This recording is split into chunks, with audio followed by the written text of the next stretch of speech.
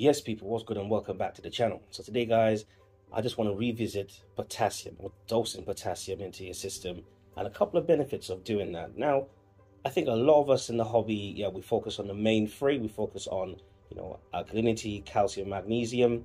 Sometimes potassium does get overlooked, and I think there's a lot of benefits to dose potassium in your system. Now, let's get the technical, boring stuff out the way. So, potassium is found in the same about the same ratio as calcium is found within the ocean. So the ocean is like 420 ppm, potassium is going to be about 400. So if you are dosing or you start to test your potassium, just try and keep it around 400 to uh, lowest maybe about 350. Within that range, just to see how you get on. Now, it's very important that you test to see where it is first before you start dosing this thing because if you overdose potassium, you would know immediately. The corals will probably not start looking that great. You will get um, nuisance algae growing on there because don't forget, bacteria, algae, all sorts of you know microscopic life will utilize potassium to grow because essentially it is like a fertilizer.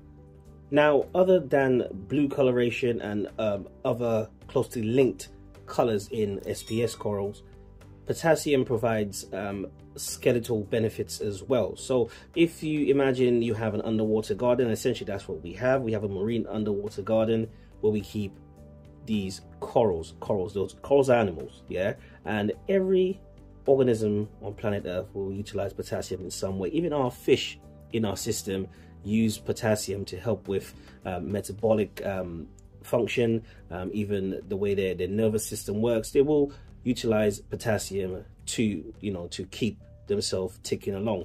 Us as human beings use potassium potentially for energy as well.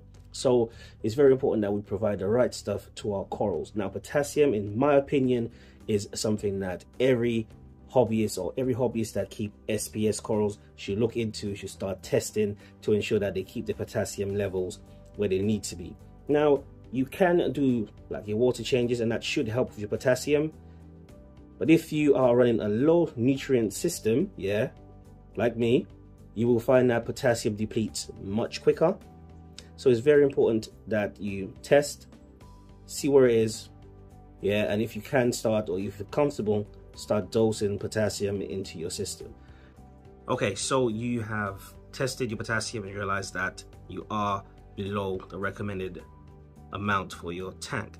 Now you can test two ways. You can um, send an ICP test out that will come back in a couple of days, even a couple of weeks, and it'll tell you exactly how much um, potassium you should be dosing into your system and over the period of time. Now, I'll always say to people, if you are dosing potassium into your system or anything into your system, whatever the recommended amount, yeah, start with half and then test.